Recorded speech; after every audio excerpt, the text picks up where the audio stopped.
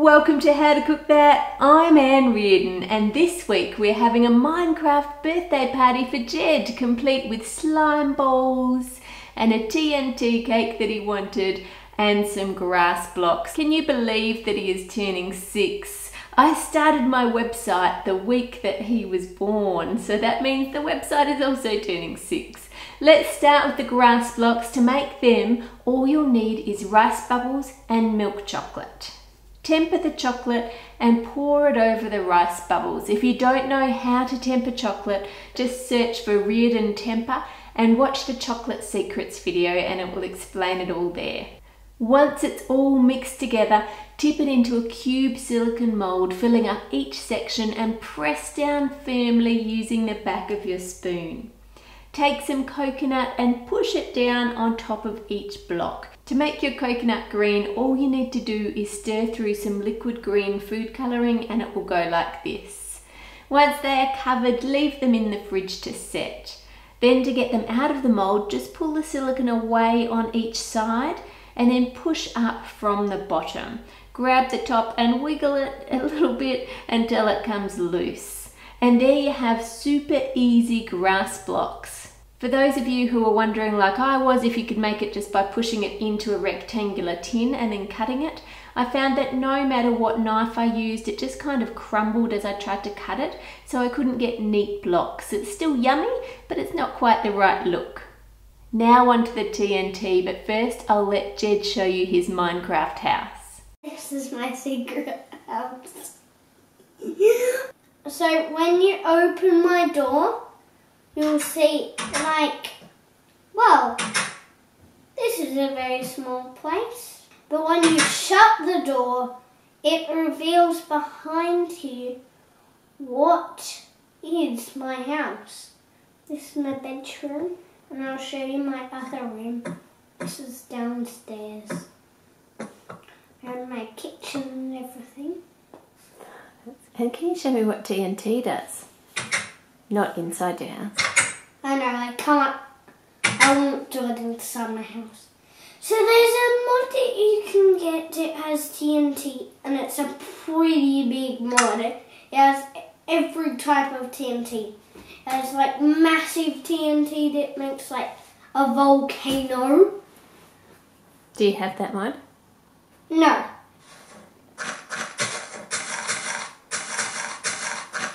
That's a lot of TNT. Yeah.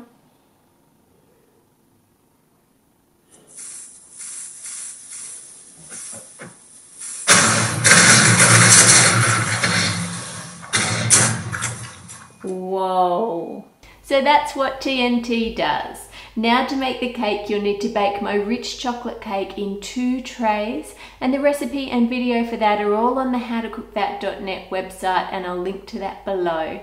I like baking them in trays instead of tins because then they bake much faster, which means they don't dry out on the edges and it's beautiful and moist the whole way through.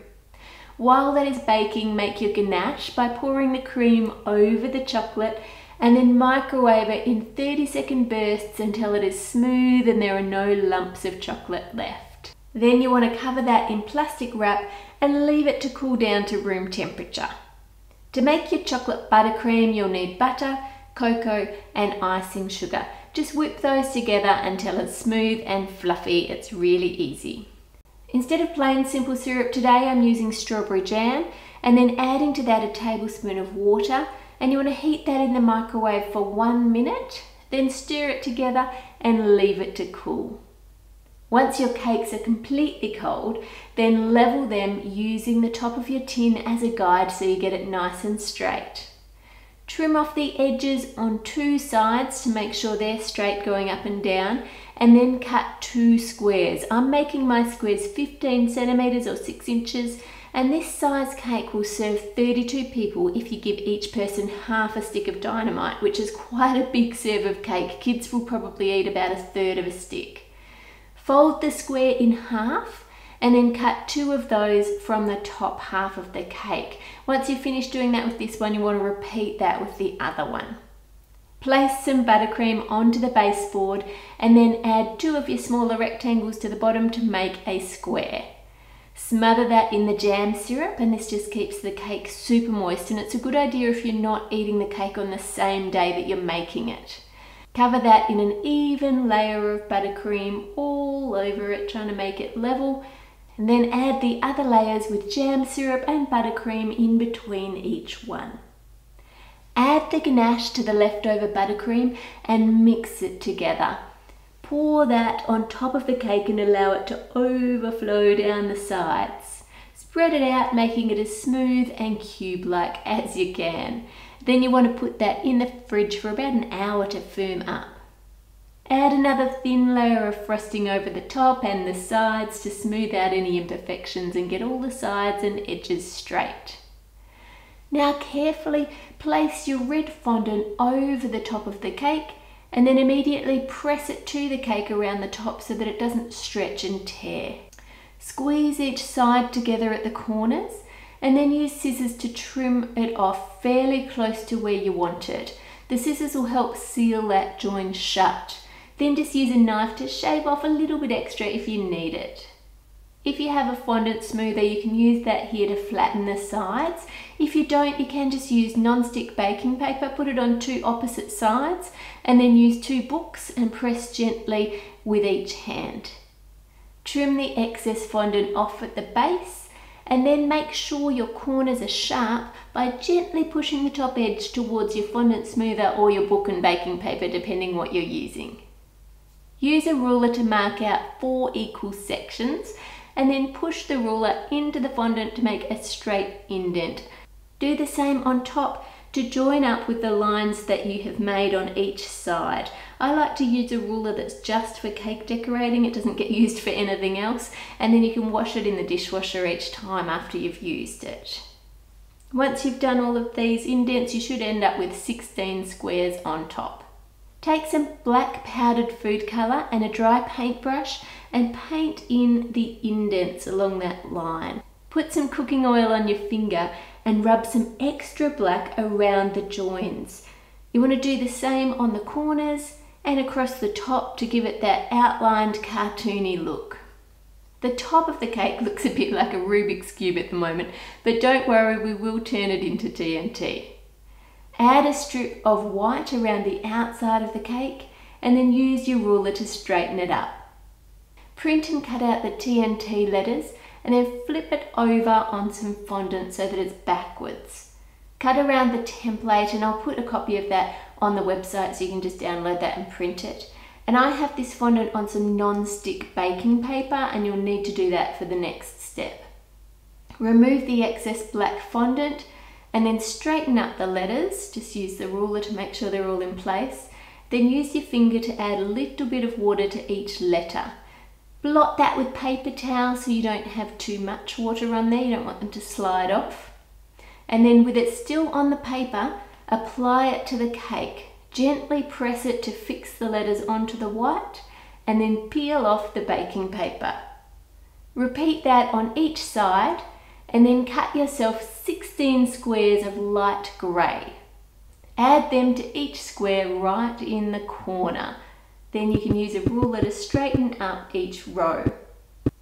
Now add some smaller squares of grey around the TNT letters. There's no right or wrong place of where to put these, just put them somewhere different on each side.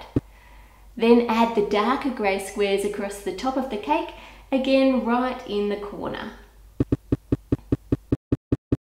Use a straw to cut a circle out of the top of each block and then use a fondant extruder to make a long snake of black. You can get these fondant extruders super cheap on eBay or Amazon. I've had mine for many years now so it's a bit faded.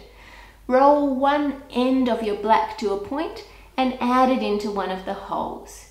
Reach it across to the opposite corner and connect those two. To stop them from sitting flat, you can add some rolled up baking paper just under the fondant there. Continue to add them crisscrossing across the cake, supporting each one with the baking paper. We don't want just a plain silver board, so let's cover that in green squares. Jed wants to help me put those on. He is always so super helpful. He's such a cutie. Now that's our cake done. Now for the slime balls. All you need to do to make those is make up some jelly or jello using half the amount of water it says on the packet and pour that into a sphere ice cube tray, put the lid on and place it in the fridge to set. And voila, you have green slime balls. For his party, we went to a trampoline centre with a group of school friends and his big brothers, of course. And then it was time for the party food and the cake. Happy birthday to you. yeah. One more.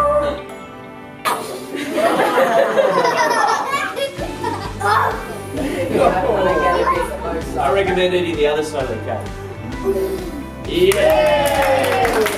In our house, on the actual day of your birthday, you get breakfast and presents in bed, and we had a bit of a surprise for Jed on his birthday. Jed, happy birthday. Big boy, six years old. Love, Dad and Mum. P.S. Look out of the bathroom window. What is it? Can you see something? Yes. What is it? A trampoline. Subscribe to How to Cook That for more crazy sweet creations. Here's a link to the recipe, some more Minecraft cakes for you, and here's the latest video. Make it a great week, and I'll see you on Friday.